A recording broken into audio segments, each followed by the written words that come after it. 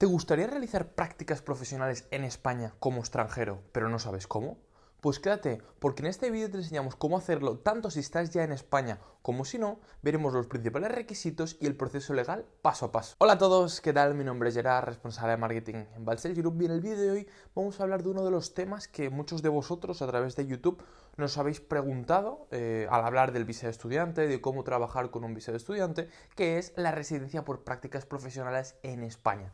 Lo que vamos a hacer es ver un poco en qué consiste esta autorización de residencia, veremos cuáles son las dos opciones que tienes para eh, trabajar por prácticas, cuáles son los requisitos que tanto tú como la empresa contratante eh, vais a tener que cumplir y finalmente veremos un poco qué ventajas aporta y cómo modificar un permiso de trabajo regular después. Recuerda, si no lo estás, suscríbete ahora mismo, dale a la campanita para no perderte ninguna de las novedades, ninguno de los vídeos que van a hacer tu vida en España como extranjero muchísimo más fácil. Así que sin más, empezamos con el vídeo. En primer lugar, ¿qué es la residencia por prácticas profesionales? Pues bien, esta residencia por prácticas profesionales es una autorización de residencia que le permiten al estudiante extranjero, que o bien ya está en España o que todavía no, realizar un convenio, trabajar a través de un convenio, un contrato de prácticas en una empresa española o con un autónomo que les contrata, ya que también es la opción. Por lo tanto, esta residencia es la autorización que les va a permitir eh, quedarse de manera legal en el país durante el tiempo que realicen estas prácticas y a la vez realizarlas de manera correcta. De la mano con el permiso para la búsqueda de empleo, esta residencia por prácticas es muy beneficiosa porque ambas opciones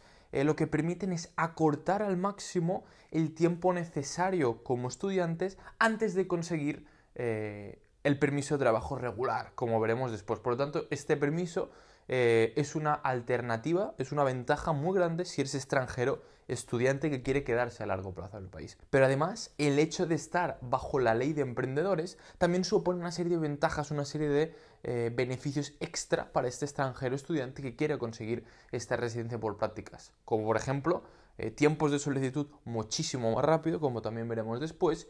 Y por otro lado, el hecho de que puedes solicitarla, esta residencia, directamente desde España, aunque también puedes hacerlo desde tu país de origen.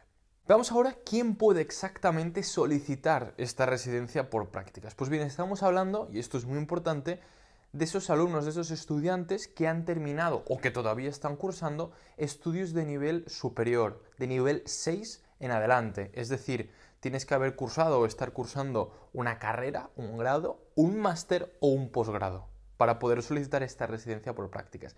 No obstante, educación profesional superior también sería válida, educación deportiva, eh, artística y plástica superior también entran en este, en este grupo de estudiantes que pueden solicitar esta residencia por prácticas.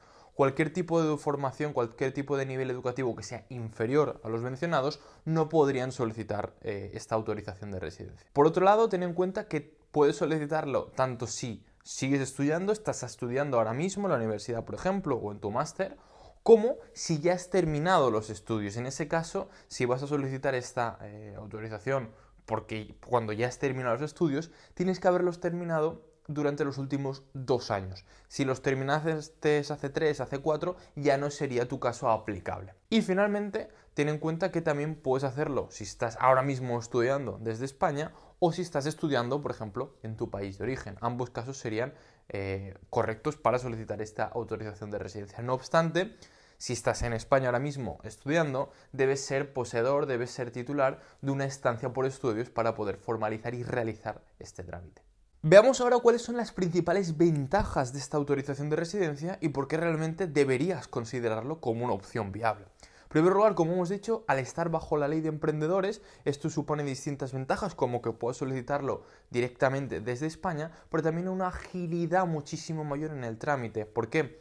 Porque vas a poder presentar, la solicitud se puede hacer de manera online, por vía telemática, y esto hace que el tiempo de respuesta de la administración sea muchísimo más rápido que si comparamos con cualquier tipo de residencia que no esté bajo la ley de emprendedores. Por otro lado, las condiciones de este contrato eh, de prácticas o el convenio de prácticas que vas a realizar son muy flexibles, son muy ágiles en ese sentido y esto sin duda beneficia tanto a la empresa contratante como a ti como estudiante en ciertos casos. ¿no? ¿A qué nos referimos? Pues bueno, estos contratos, en primer lugar, no tienen por qué ser a jornada completa, esto quizá te ayuda a compaginar eh, las distintas actividades que puedes hacer en España, también a la empresa por si se lo quiere organizar así, y eh, no tienen por qué ser de duración muy larga. Entonces puedes encontrar un contrato, un convenio de prácticas de un mínimo de 3 a 6 meses como poco. Entonces esto lo hace muchísimo más ágil, muchísimo más flexible, tanto para la empresa como para ti como estudiante que va a empezar a trabajar. En ese sentido, ¿cuánto tarda esta solicitud una vez que prepares toda la documentación y los requisitos que veremos después?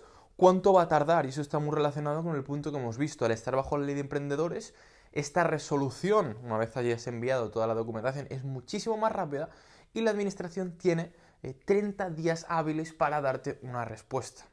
Lo positivo aquí es que si no recibes respuesta durante este plazo de 30 días, tu solicitud se considerará como aprobada por silencio administrativo positivo. Esto es totalmente beneficioso para ti, ya que sabes que como máximo vas a esperarte estos 30 días, un periodo de tiempo realmente reducido.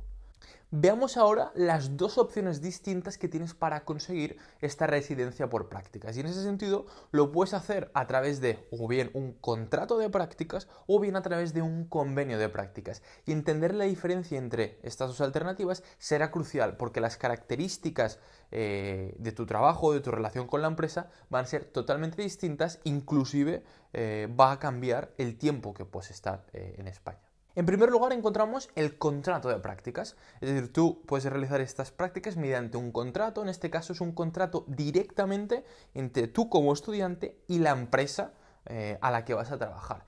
¿Esto qué significa? Que esta relación directa hace que tú vayas a ser trabajador de la empresa, vas a estar dentro de la empresa como trabajador, cotizando en la seguridad social. Y esto tiene ciertas implicaciones, como por ejemplo que es obligatorio por ley que tengas que cobrar como mínimo el salario mínimo interprofesional, que si quedas desempleado o desempleada vas a tener derecho a una prestación por desempleo. Y por otro lado, a nivel duración, ten en cuenta que este contrato, eh, contrato de prácticas, tiene que ser como mínimo de seis meses y como máximo de un año. No obstante, una vez termine este año, es posible renovar una vez este contrato de prácticas. Pero por otro lado, eh, también puedes optar por hacer un convenio de prácticas, según cuál sea tu situación.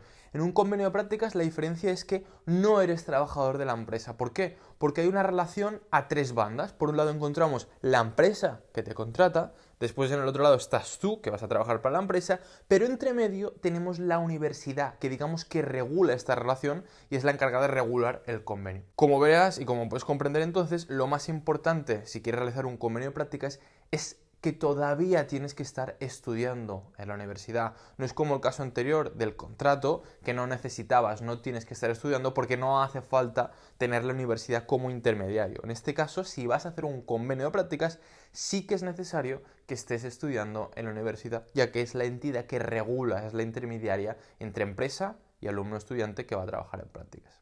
Además, la duración es distinta, ya que como máximo este convenio va a durar seis meses, aunque se puede prorrogar y se puede renovar también una vez. Veamos ahora cuáles son los requisitos que tanto tú como estudiante que quiere empezar a trabajar eh, por prácticas como la empresa que te contrate vais a tener que cumplir. En primer lugar, tiene que ver con el puesto en cuestión que vas a ocupar. En ese sentido es importante que el cargo y las tareas que vas a desempeñar en la empresa sean equivalentes a tu área de estudio y al nivel de formación que has adquirido o estás cursando. Es decir, si tú has estudiado marketing, no podrías optar a un trabajo por prácticas de, por ejemplo, eh, repartidor, por ejemplo, ¿no? Tiene que ser el mismo campo de estudio eh, que has estudiado, tiene que ser, verse reflejado en las tareas, en el cargo que vas a ocupar en la empresa. Y además, el nivel eh, de esas tareas tiene que también estar relacionado con tu formación. Si has estudiado un, estudio, un grado, una carrera, un máster, las tareas que desempeñes en la empresa deben estar ligadas y deben ser tareas propias de una persona que ha estudiado, eh, que tiene ese nivel educativo, ese nivel de formación. Por otro lado, es importante que el estudiante cuente con un seguro médico privado en España que no puede tener ni carencias ni copagos, mismas coberturas que la sanidad pública española y este seguro médico debe ser como mínimo de un año de duración. Por otro lado, como no encontramos los medios económicos, como estudiante en práctica vas a tener que demostrar que dispones de medios económicos suficientes para mantenerte en España. Estamos hablando de un 100% del IPREM, aunque si tienes un contrato de prácticas que es remunerado, vas a poder usar este, este ingreso como vía de demostración de la posesión de medios económicos suficientes. Por otro lado, la empresa también tiene que cumplir una serie de requisitos. En este caso, es importante que para contratarte, ya que será ella la empresa quien inicie el trámite, debe estar libre de ningún tipo de deuda eh, con la seguridad social y con la agencia tributaria en España a nivel de impuestos. No puede tener ninguna obligación pendiente en ese sentido. A nivel documentación es realmente muy simple, muy sencillo. Deberás aportar eh, el contrato o el convenio de prácticas, que debe estar firmado por todas las partes. En el caso de que sea un convenio, también por parte de la universidad, no únicamente por parte de la empresa y por parte de tú como estudiante. Y además deberás rellenar y presentar el modelo de solicitud EX06 debidamente rellenado. Finalmente, como documento, vamos a decir extra, también debes aportar un escrito redactado por parte de la empresa en el que se especifique un poco cuáles van a ser las condiciones y las características de esas prácticas, es decir, qué cargo vas a ocupar, qué tareas vas a realizar, eh, cuánto, cuál va a ser la duración de esas prácticas, quién va a ser tu tutor, a quién, eh, va a estar a tu cargo eh, supervisando, un poco todos los detalles relacionados con esta relación que se va a dar con la empresa y cómo se van a desarrollar las prácticas. Hablemos ahora de la duración. ¿Cuánto dura este, esta autorización de residencia por prácticas? Pues bien, lo primero que tienes que tener en cuenta es que eh, esta autorización de residencia va ligada a la empresa en la que trabajes. Es decir, muchas personas tienen la duda de, vale, eh, he realizado este convenio, eh, quizá la querría renovar, pero quizá me quiero cambiar de empresa y hacer las prácticas en otra empresa. ¿Puedo hacerlo? Pues bien, como tu autorización de residencia por prácticas te la han concedido para trabajar en una empresa específica en cuestión, que es quien ha hecho la solicitud, si ahora cambias de empresa, tienes que iniciar el proceso desde cero, por lo tanto no puedes cambiar libremente. Por otro lado, va a depender muchísimo esta duración de si estamos hablando de un convenio o de un contrato de prácticas. En el caso del convenio, es decir, la universidad está como entidad reguladora en medio, entre la empresa y tú como estudiante, la duración máxima es de seis meses, eh, ya que la tarjeta, es decir, la duración de tu autorización de residencia, depende totalmente de lo que duren tus prácticas. En ese sentido, las prácticas pueden durar como máximo seis meses, por lo tanto, seis meses es lo que puedes estar como máximo, aunque si el convenio de prácticas lo especifica, pueden ser inferiores a estos seis meses. No obstante, una vez terminados estos seis meses, es posible renovar por seis meses más, de tal manera que harías un año entero eh, de prácticas. Una vez llegues a este final de este año, es decir, te han renovado una vez y has terminado estas segundas prácticas, vamos a decirlo así, si la empresa quiere seguir contando con tus servicios y, que, y tú seguir trabajando en la empresa, entonces ya debes modificar, como veremos después, a un permiso de trabajo por cuenta ajena y deben contratarte como trabajador en régimen general. Ya no sería posible seguir con esas prácticas. Por otro lado, ¿qué pasa si haces un contrato de prácticas? En ese caso, eh, la duración de las prácticas es de como máximo un año y como mínimo seis meses. De nuevo, una vez llegues al final de este año entero, se puede renovar, llegando por tanto a hacer un total de dos años de prácticas, y cuando finalices esos dos años, si la empresa quiere seguir contando contigo, de nuevo tiene que contratarte en régimen general, deberías modificar un permiso de trabajo eh, regular por cuenta ajena, en este caso. Finalmente, y como te comentábamos, una de estas de las principales ventajas de esta autorización de residencia por prácticas, juntamente con la búsqueda de empleo, es que acorta muchísimo el tiempo necesario para lograr un permiso de trabajo si partes como estudiante en España, ¿no? El caso general, ya lo vimos en el vídeo de cómo conseguir eh, el permiso del visado de estudiante en España, el caso general es que tienes que estar tres años como estudiante en España y después, cuando terminen estos tres años, ya podías modificar un permiso de trabajo regular por cuenta ajena. En este caso, si tienes la residencia por prácticas, es decir, has estado estudiando, saltas a la residencia por prácticas, ya no tienes que esperarte a estos tres años. Una vez terminen estas prácticas, puedes conseguir eh, tu permiso de trabajo eh, por cuenta ajena y de manera muchísimo más fácil, por lo tanto, acortas este tiempo necesario y una vez obviamente tengas este permiso de trabajo regular ya podrás ir renovando sucesivamente hasta conseguir la residencia de larga duración en España y quedarte en el país a largo plazo, por lo tanto es una alternativa muy beneficiosa.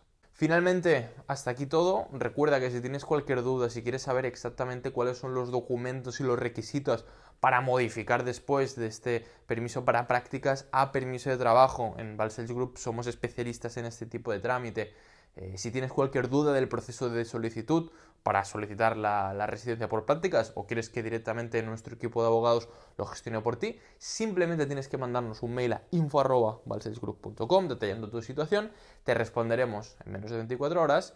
Y hasta aquí todo. Recuerda de nuevo, si no estás, suscríbete ahora mismo para no, no perderte nada. Nos vemos en la próxima. Un saludo enorme.